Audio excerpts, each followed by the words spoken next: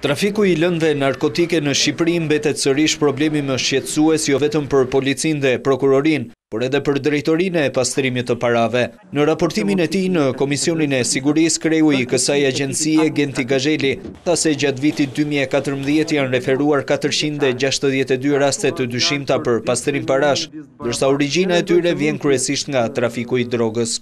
Nga rastet për të cilat ka qenë e mundur të individualizohet vepra mëmë, pra, tjetërsimi i fondeve, pastrim parash, dominojnë trafikimi i lëndëve narkotike, fshehja e të ardhurave, evazioni fiskal, mashtrimi, falsifikimi, trafikimi i qenieve njerëzore, korrupsioni etj. Përkrah referimeve në Prokurori, hetimet e organit të akuzës për këtë vepër penale sipas Gazhelit janë shumë të ulëta.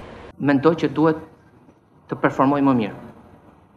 Në lidhje me pjesën e hetimit të veprës penale të parashikuar në nenin 287 të Kodit Penal, parashtrojmë se efikasiteti i zbatimit të legislacionit penal kundër pastrimit të parave, pra hetimi dhe ndëshkimi, është ende shumë i ulët.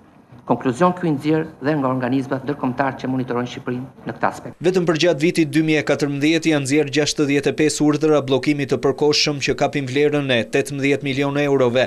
nga të cilat pesëmbëdhjetë milionë euro të bllokuara janë me vendim gjykate.